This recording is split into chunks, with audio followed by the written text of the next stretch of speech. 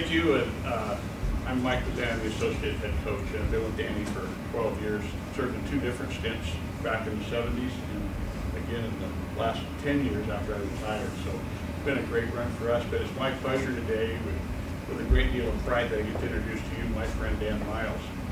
Dan came to Oregon Tech uh, with the intention of staying about three years, building his resume as an instructor and a coach, and that was in 1971. Completed his 41st year at Oregon Tech and his 40th year as the head basketball coach at Oregon Tech. He uh, has a unique distinction of having served with every president that's been here, interim president that's ever served at Oregon Tech. In addition, he was a part of a transition from Oregon OTI, Oregon Technical Institute, Oregon Institute of Technology, all the philosophical changes that took place as we moved from a vocational school to a high-end technical institution. Was a part of that, that transition. Dan's been the basketball coach here for 40 years, uh, completed, just completed his 40th year. Uh, he got 937 wins, which is the second most of any coach in the history of college basketball. Uh, he's been awarded a lot of honors uh, while been here. Won two national championships. He's had four Final Four teams. He uh, been Coach of the Year, National Coach of the Year, uh, two times. He's been the Conference Coach of the Year numerous times, taking his team to 17 national tournaments, had four Final Four finishes in addition to the two national championships. Um, he's also a member of the Hall of Fame at Medford High School. He's a member of the Hall of Fame at Southern Oregon University. He's a member of the Hall of Fame of the Oregon Sports Foundation, a member of the Hall of Fame uh, with the NAIA, uh, Collegiate Basketball Hall of Fame. But probably the most significant award, and the one that he seems to value the most, is an award he won in 2008, which was the Champion of Character Coach of the Year Award, which is given annually to the one coach in NAIA basketball, football, baseball, whatever, that most exemplifies the five basic core values of the Champions of Character program. Values are respect, responsibility, sportsmanship, integrity, and service to his community. Um, related to that, Dan is you know, not only an icon in college basketball, but he's an icon around his community. And, uh, but you would never know it if you lived here. Uh, those of us who know him uh, value his sense of humor. Uh, we value his humbleness, and occasionally we value a few of his practical jokes. Um, not often. Um, more, more significantly, Dan never says no in the community. You'll see him working with our Special Olympians. He runs summer camps for kids. Uh, all kinds of random acts of kindness. Uh, I know last year we were preparing to go to the national tournament, and somebody called and wanted to come down at a certain time to talk about what, what it's like to be a champion. He finds time in his schedule, as well as our preparation, to go and take care of that need. Um, most recently, Dan has been uh, spent last year with Athletes in Action last summer. They were in Kenya and Rwanda, and uh, I think a testimony of the kind of man he is. He found that there's a young child there that he's sort of hooked onto, and, and Dan has made arrangements now, and uh, the family of this young child receives money from uh, Dan on the basketball team on a regular basis. And so it's with a great deal of pleasure that I introduce my friend, my colleague, my boss, uh, Dan Miles.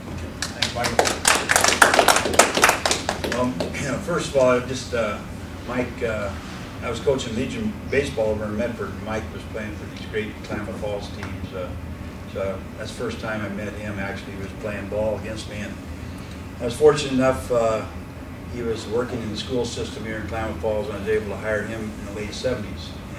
With me a couple years then, and we went to the national tournament in 1979, and uh, had a very good team back then, a long time ago. And then he was assistant superintendent here at the uh, Klamath Falls, and after he retired, I was fortunate enough to get Mike to come back with us. And again, he's been great, great uh, deal of our success is because of uh, the great job he's done. And, and like I said, we're great friends.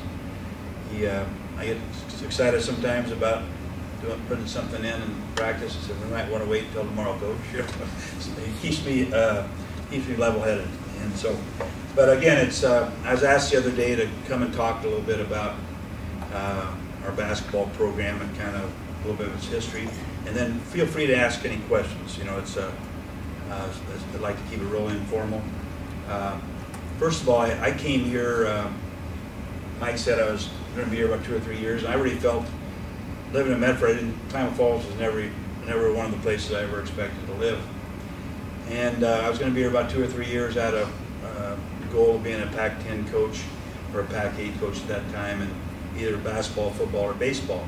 I played three sports in college, and so I actually I came here as an assistant coach in football, basketball, and baseball. And growing up in Medford, Oregon, at that time, I played on a lot of championship teams. Southern Oregon played on championship teams.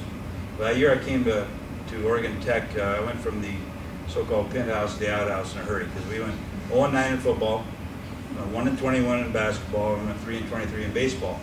And I was coaching third base. I remember I didn't get to go do this hardly at all. Wave anybody around. We walked a couple guys in. We won a couple games, but but it was it was an absolute I thought disaster. Except I found out something real special. There's a lot of winners on losing teams, and there was a lot of losers on winning teams. And I remember back in Medford, we had a big, very big high school. Had some great teammates, great friends, but there were some of the guys on our team were I thought were losers as people, uh, the way they trained and did different things. And here, I remember going up against University of Nevada, Las Vegas, University of Nevada, Reno, 185 pound freshman lineman against 270 pounders, and they'd get rolled up, pancaked, and get get back up and take them on again, and, and do that over and over. And I'll tell you what, it's real easy to quit. But I found out that first year there were some real special people. I'd never been on that end of the, uh, you know, uh, spectrum as far as being in a losing situation. But that year I really really learned an awful lot. I learned also I didn't like losing. That was not a lot of fun. So the next year I, I uh, had an opportunity to be uh, head basketball coach. I put my name in, and uh, I didn't think I'd get it, but I was named head basketball coach here my second year. I was also head baseball coach and offensive coordinator in football. I stayed in those three sports for several years, thinking that you know uh, the head coach here in football later on thought I could be in the Pac-10 as a defensive back coach. And baseball was my first love. Uh, I'd actually gone to Oregon State originally on a baseball scholarship. And uh, my three boys all played D1 baseball, so baseball is probably our favorite sport in our family. Basketball, I, I started at Southern Oregon in basketball and was a second team all conference player there, but I thought that was my third sport. I'd never really get a, you know, probably never coach basketball. Well, thing happened to me here, I fell in love with the community. Uh, this is one of the greatest communities as far as backing people. American Legion ball, when I used to coach that in the playoffs, we get 3,500, 4,000 sometimes. The ball games fill the stadium. Uh, basketball here, we get the best crowds in the West Coast. Uh, small college basketball, probably in the nation.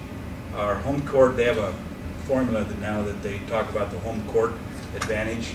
We're always in the top five in the nation because of our crowd. You know, we, we won 57 straight at home now.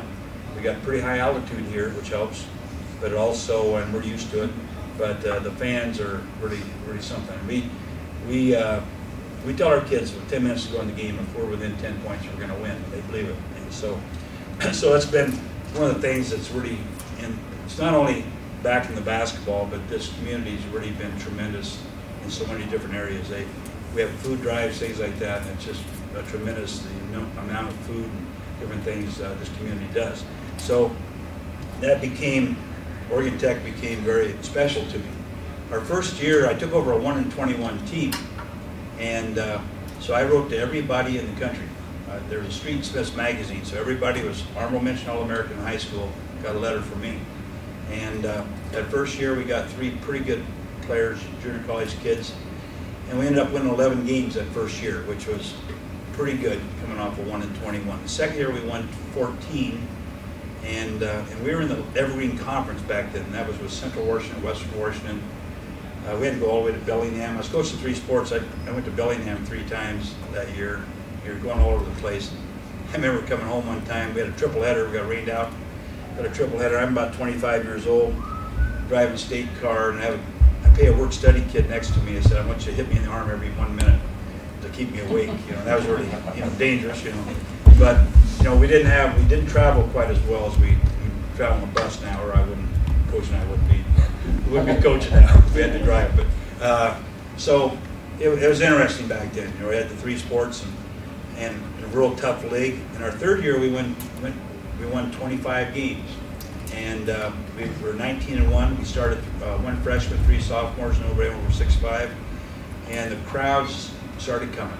We uh, when I first got the job, you could have shot a cannon in the gym, not anybody, but the crowds started coming, and uh, there would be people sitting on the floor like the, the center section here from the I mean, from the floor to the sideline.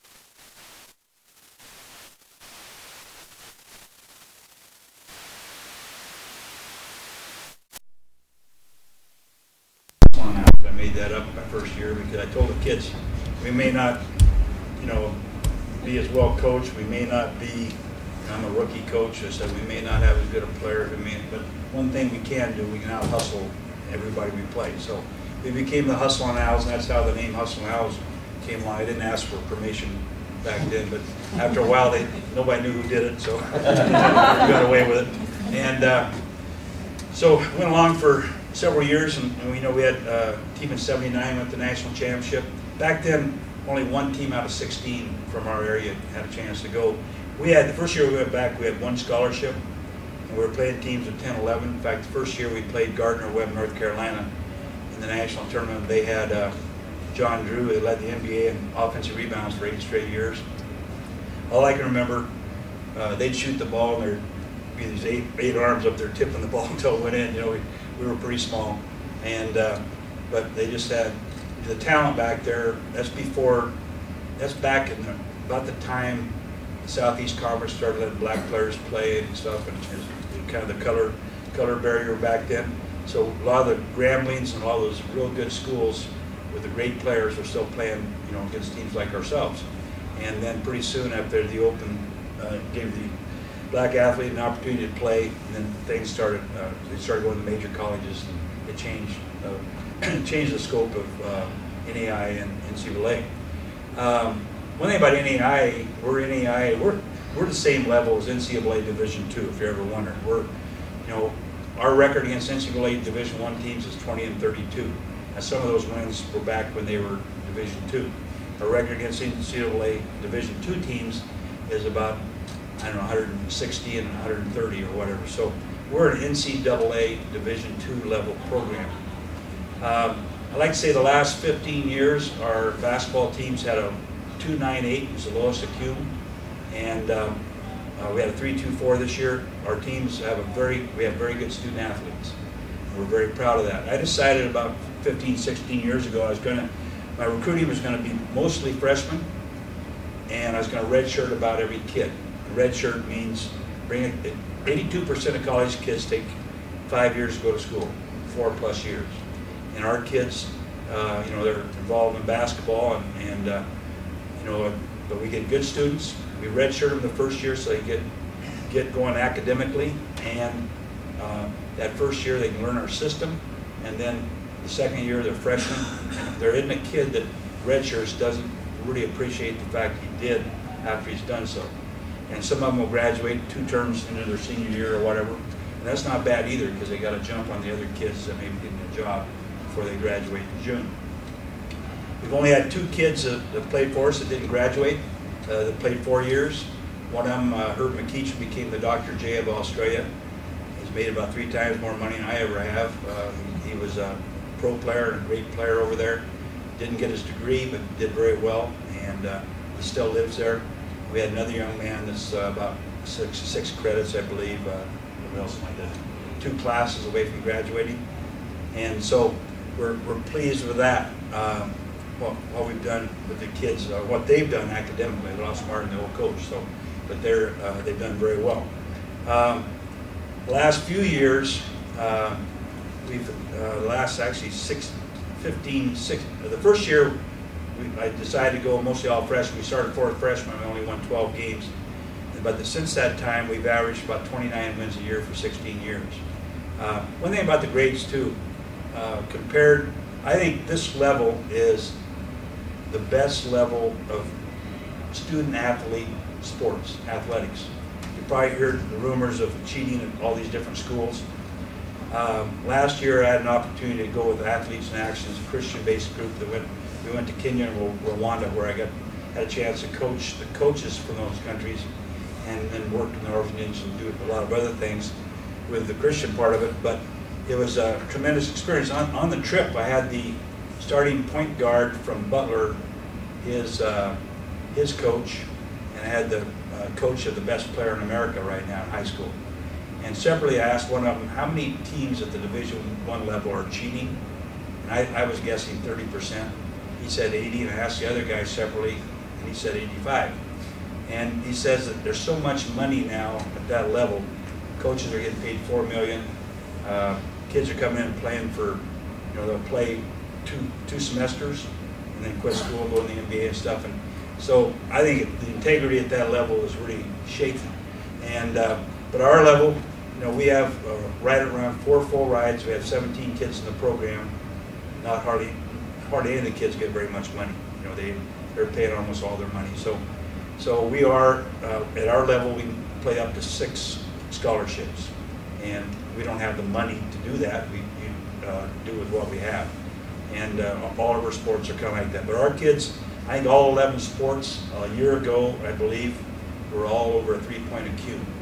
I had a friend that coached at New Mexico State several years ago, and he got a $50,000 bonus if the team had a two-point IQ. And in seven years, he never got the bonus.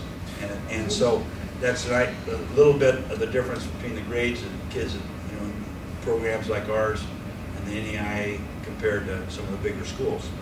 Um, it's been, you know, the kind of kids we have here, it's just been great. We had an opportunity a few years ago to, to be the first college team to ever go uh, take a team to China. It was about 2005. Summer of 2000, might have been summer of 2004. Is after they graduated? 2005, or something like that. Well, we went, uh, we had won the national championship. We won the Champion of Character Award as a team.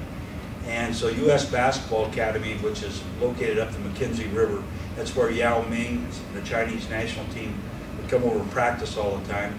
So uh, they called me from up there and said that they'd like us to represent the United States going to China, be the first team over there. well, we said that's great. So out of my basketball camp, I was able to pay for 10 of our kids. We could only have several kids had jobs, couldn't leave.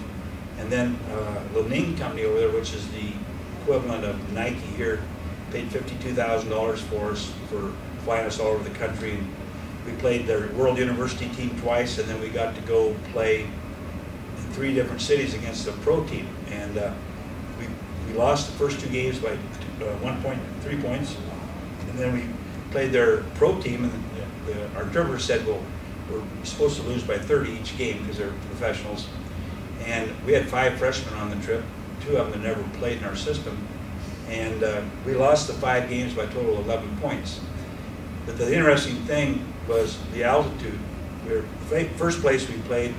Uh, we played in Beijing first at 95 degrees, and uh, really hot in the gym and everything. And then big crowd, probably 6,000 people. Then we went to Luxi, which is 6,800 feet, and they paid an equivalent of $90 per American to get uh, to watch the game. And so, as, and a lot of Communist Party members there and stuff, and it was a big deal. The next night, we asked we asked their interpreter, and he didn't really speak real good English, but we asked them how far the next trip was. We flew to that place, and the next was going to be on a bus trip. One guy told us four, another guy said six, the other guy said two. They were right, it was 14 hours. so we drove 14 hours to the next place and uh, uh, played there. We lost by a couple points. But it was interesting in that game where we called timeout. Our guys broke the huddle, dribbling up court. We're down three with 30 seconds to go. my guys started pointing at the clock. I look up there, they'd added a point to there. Now we're down four. Made it hard to catch up. But, but after the game, they apologized for how the refs were cheating because they travel with they have two buses. We have a bus. Their team has a bus. The referees travel with them. And so the last game, they asked us, you know, we don't have to play because we did get cheated. I said, hey, we're, these games don't mean anything as far as, you know. And so the last game we played for $10,000. And, uh, you know, they figured they had, they had the Communist Party there, you know, they're going to win the game. But a guy flew in from Beijing and said that he, uh, he said they'll promise they'll be same refs, but they'll be fair. And, uh, and they were. We had a three-pointer at the buzzer to, to win and missed a shot. But that game we played 11,200 feet higher than Mount McLoughlin out here. We had to have oxygen on the bench, sleeping at night. I was in fairly good shape. I couldn't breathe at night. I'm just, just laying there in bed. And we had a little 5'5 All-American. He wanted to see if he could play the whole game. He went 14, scored 14 points the first half and didn't score the second half. You know, your with lactic acid in your legs, all that stuff. But it was it was quite a quite a trip. But everybody lost 10 pounds because all we ate was watermelon. My wife was with us, and she has this one six nine Chinese guy, and they, they were big, seven foot, six nine. And so she said, "What is that?" I said, "Is it one of these?" And he said, "Yeah." He reached out, ate it, you know. But I, I think they had dog and all kinds of stuff, and so we, we decided to. We had nice banquets, real nice, you know, banquets, but but everybody uh, ate watermelon. And then we finally got back to Beijing and went to Kentucky Fried Chicken. problem is the chickens there must be that tall because the chicken legs are about that big, you know. So they had short chickens in China. So, but but we had a uh, that was a great trip for us. And, uh, you know, it just it's been so much fun. Know, I can't wait to get to work each morning. The kind of kids we have, it's uh, uh, just been a lot of fun these 40 years. People ask me how much longer. I'm 65 now, and my wife gave me five more years. And uh, my kids say, "Let Dad keep coaching until he's." I'd like to coach until uh, you know I didn't want to come to work, you know, or like next time I drive to Medford with my blinker on, that might be a sign I might want to give it up, you know. So, uh, but I still enjoy it. And this guy here said he'd stick with me, and Bobby Thompson. I don't know if you've heard of him on the radio. Does a tremendous job. He said he'd, he'd hang in there with me as long as, as, long as I keep coaching. So it's been a great ride, a lot of fun. Uh, one other thing I wanted to mention. Uh, uh, Marlon mentioned, I don't know if it'd be interesting to you, but we have, I, I came up with a formula 40 years ago of how I, how I uh, rate my players. I just did a video, uh, a company did it from Iowa, came out, did a video, and actually, I only got 15%, so I am not making a lot on it, but uh, they sold over almost $60,000 uh, on the video, and it's been real popular around the country, but I have a I have a value point system, we call it. And when I was playing back in the 60s, you know, they kept rebounds, they kept points, uh, shooting percentage, things like that. They didn't keep assists very well. They didn't keep charges, things that helped you win ball games. And so I always felt, you know, I, I thought it kind of led to people being selfish in basketball. I wanted to come up with a way where guys could learn to play the game the right way, and that doing drawing a charge or getting assists is just as important as scoring a bucket. So came up with a, a, mathematical system that I've used for 40 years. And I really think it's been a big part of our success. And uh, I did a, I remember doing a clinic in New York uh, about four years ago, and Steve Nash had been traded from to Phoenix for Stephon Marbury. Stephon Marbury played about one one five in my value point system. Steve Nash had played about 1.66. And I said at the clinic that, that year that watch this summer that Phoenix will win about 30 more games than than uh, what they did a year ago because they're replacing a selfish player with a very good uh, team player. And sure enough, it's like 29 more wins. Their 31 is within one. Uh, a few years ago, uh, the Lakers played Detroit and I did my value point system on both teams in the playoffs. I said Detroit would win in four games. They won in five, but they, they were six points ahead in the fourth game with a minute to go or could have swept. And so it's a great thing for us to kind of compare teams, uh, compare our players, and the last oh, probably several years we've been in the top five in the nation in the turnover ratio. We lead the nation almost every year in fewest turnovers.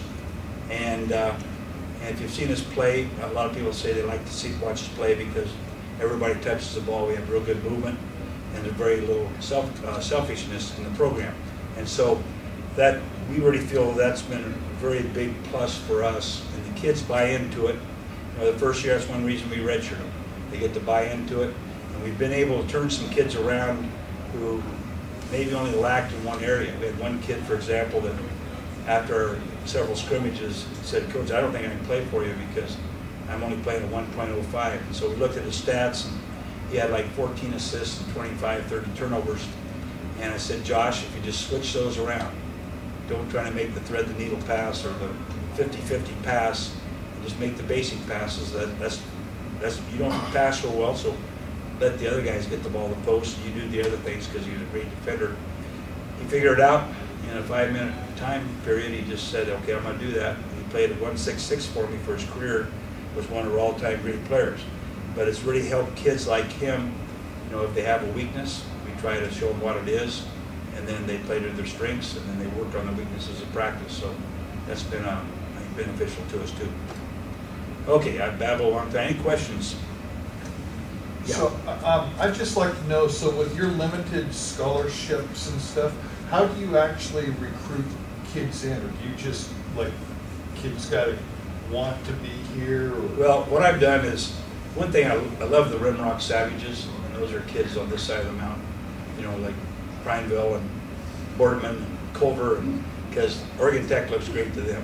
Now, I think kids in Beaverton, you know, they're in the big city and all that kind of stuff, you know, I don't want kids come here and say, oh, God, I'm going to Oregon Tech. I want kids, that Oregon Tech is special to them. And so, I, I usually have three foreign kids on the team each year. We have a Serbian right now. See, I coach in France, I coached seven years in France. I've coached in, you know, been able to coach a lot of places. And this, the French kid I met when he was 14, couldn't speak English. I gave him my card, said, if you ever speak English, give me a call. Three years later, I got a call, he came over here, and he actually spoke at the commencement, did a tremendous job. He became about a three-seven student. He's now making about 200000 a year in a company up in Portland. And uh, here's a little skinny 14-year-old, but came to, but Oregon Tech was, that was the place. The kid from Serbia that we have here, he loves Oregon Tech. We had uh, four kids from the Ivory Coast, Oregon Tech, you know, so my recruiting, I want kids, uh, had, in fact, we just signed another Australian, we have a New Zealand kid too. And so we want kids that want to be here. Those foreign kids are great students. They're going to, the high school education in foreign countries is way ahead of us. And so they come in here and do real well. And uh, so those kids want to be here. Uh, we had two kids from Bonanza, Oregon in our top six. We won the national championship. Nobody recruits Bonanza, Oregon. But we have, that was a starter and a sixth man. And the sixth man last year became first team all conference. And nobody wanted him. And even myself, I'm going, gosh, I hope they can play here, but they work so hard and they battle. And uh, in fact, it was really funny. We played Evergreen State. They had three first team all Seattle players. And we were, they were matched up against two Bonanza guys and a guy from South Medford or something, you know. And uh, we beat them every time. And so that's been kind of fun because we've won with, we a Culver kid became All-American. A Boardman kid was National Player of the Year. We had a great player from Sherman County, great player from Lost River. We've had two from Bonanza, and just, you know, and we have a kid from Lakeview, it's our best defensive player right now. So, and as far as recruiting goes, uh, I haven't made a home visit probably for 15 years because my players send players to me. Like the Australian kid we got, my player from 1998 was a great player over there in Perth, Australia he wants him to come here, he's, you know, you got to go play at Oregon Tech. So a lot of my guys, I get, especially now with the internet and all the, gosh, I'll get seven, seven different countries will send me stuff every day. Kids from Bulgaria and Lithuania, and, you know, they're all over the place. So there's all kinds of players. And some of them will come from some of them will sign without coming, because they had a friend or an ex-player. you know. The other kids would come down, or maybe their parents would come down for a visit. So that's pretty much how we recruit now. Yeah, I just have a comment. My husband and I are both alumni from 30 years ago. Okay. We started here, and we're from that evil metropolis, Beaverton. Right. And so I know what you mean, Yeah. because we always wanted our kids to come Yeah. to OIT because we thought it was an awesome education and Yeah. a great place to be. But we could never push it because it was what it was. Yeah, And when our daughter made the decision, it was a very independent decision. right, And it was because she wanted to be in Klamath Falls and she wanted to be here. yeah.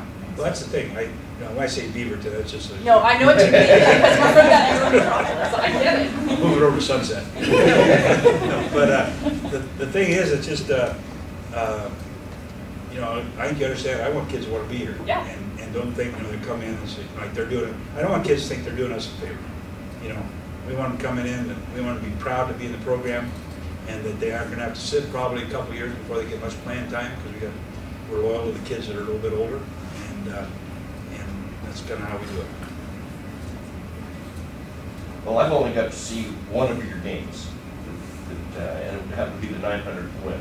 Okay. My, my daughter says, Dad, you gotta come up Yeah. and watch these guys play basketball, Right. because you like basketball. Yeah. These guys play basketball. Well, thank you. And, and I'm going, okay, but, you know, I hadn't paid attention, we Yeah. live in Eureka. Right. Used to go to Humboldt State Yeah. and Tom Woods and Yeah. the guys down there.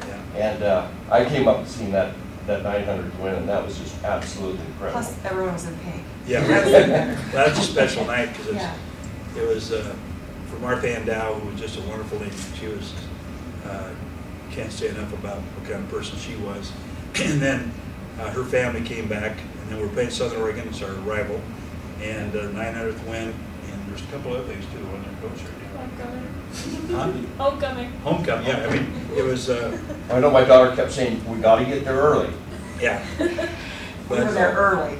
But it's, uh, we talk about it all the time, the, the elect, even though there's only twenty-two hundred people there, the electricity in the gym. Oh, are- unbelievable. It's a. It was fantastic. Great environment. In fact, we went and played, played the national tournament for a ninety-six hundred, uh, one time, and, and there's sixteen thousand seats. But it's not even close to the same environment, you know, you, uh, especially when you have everybody rooting for you type of thing. So it's, uh, pretty special. And we're, we got a, right now, we have a drive, uh, said in the paper the other day, in fact, nineteen ninety-one, we were supposed to get a five thousand seat arena built down here, and we're really pretty excited about it. And then Measure Five came through, and we had to drop nine of the eleven, in fact, every one of us got fired. I got hired back the next day, and one of the women coaches got hired back, because they had to take our tenure from us. And so we had, came back with basketball and softball. And, but that also took away, the, uh, we were number one on the list of the new things being built on the Oregon State campuses. And I don't know where it dropped, it's probably, you know, probably last on the list on that. But we're the only college around that has one gym. You know, and we have all these kids using one gym. We, uh, you know, even the high schools here all have two gyms. So we're, we have not been uh, helped very much, you know, with our athletic facilities. But uh, we are on a drive right now to raise 150,000. We- We're gonna, gonna get the gym that Kentucky won the regionals on, the same floor. And uh, if we raise 150, we'll uh, uh, be putting it in before the season starts. With that, these are boosters raising them for us, plus the score clocks. We have very nice score clocks up there now, the boosters did. And uh, is a pretty nice looking gym right now, especially we get the new floor. And uh, so it's a very, would be a very good facility, but, you know, we've been on this drive for two days, and I'll bet you we'll, we'll have the money within a week and a half. You know, it's just incredible how the people, and the other thing, when we go to the national tournament, we, Mike mentioned we've been there seventeen times.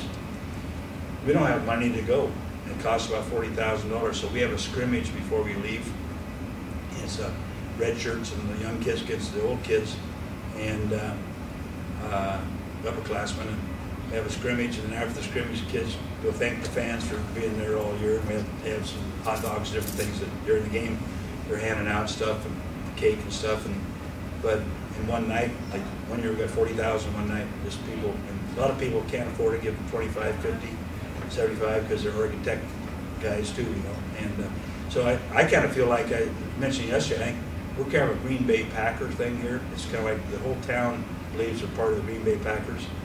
And Klamath Falls is, you know, they think they're Oregon Tech basketball. And it's a pretty neat, neat relationship. Thank you. It was fun. Anything else? Okay, Rwanda, what was that like? I'll tell you what is, uh, I, I became a Christian nine years ago, and uh, when I say that, uh, born again. And uh, And so, going on that trip, uh, I don't know if you've ever seen Hotel Rwanda or, I So back my only, yeah. that last night I saw, uh, there's, uh, if you get a chance on the internet, it's called, why I say Mike, uh, it's uh, Ghosts of, Ghosts of Rwanda. It's a frontline, you get a chance to watch this, an hour and fifty-four minutes, it's just unbelievable. But we were, a lot of those pictures of that was where we were. But what my job was, I'm going again this year, my wife and I thought it was the greatest experience of our lives. We stayed in a one-star hotel, we didn't have water a couple nights, and it doesn't matter, you know, it was, uh, and she got to go, she got to spend, uh, the women of genocide, uh, there was 368 women walked for hours to be there. The women, when they, husbands were murdered, they, they lost all their property. They're basically become shunned women. So these women all walked there, and we had 52 of us on this trip, and there were some Canadians, and there was about 20 women, women, 30 guys, about eight of us were coaches, the rest of them were players, and uh, women and men basketball players. So what we were doing was we would be, we coached their national coaches how to coach, you know, their top coaches. There'd be about 70 of them from all over the country. And then in the afternoon, the kids would come, we'd coach them, and the coaches would watch how we coached the kids. And then my wife was like over the orphanages and stuff in the schools and slums and with other women. But that one day when the women came, uh, our women washed their feet and prayed with them. And uh, uh, in fact, they have some videos of that. You can see uh, it's AIA, Athletes in Action Rwanda. If you look at that, you can see some of that. My wife's in there and stuff. But it was a tremendous trip. Well, we're, we're going back again this year because it's such so special. And uh, we'll be going three days to Kenya. We're going to build a basketball court, outdoor court, because they have no facilities. Last year we took 200, let's see, 200 basketballs, uh, nets, and everything. I had this one big, I had one group rotated to me, and the shortest guy was 6'8", tallest guy was 7'2", and they're just buff, good-looking kids. And so we were doing drills, and they really picked things up fast. So then we got in a game. The big 7'2" kid caught the ball and turned, shot about four footer, went over the backboard. They, they don't have any baskets to shoot at, or you know, so they they have no baskets, and, and they have no basketballs. They want to play. They see it on TV, they and then so what happens? is A lot of those kids come over here, and they. I always felt the the African kids are playing a level higher than they should because their bodies look so good. You know, they look like they played a high level, but it should be at a lower level because they haven't played enough. You know, they don't have the instinct and stuff. But it was a, it was a tremendous trip. Anything else? Well, thanks for coming. Thank you.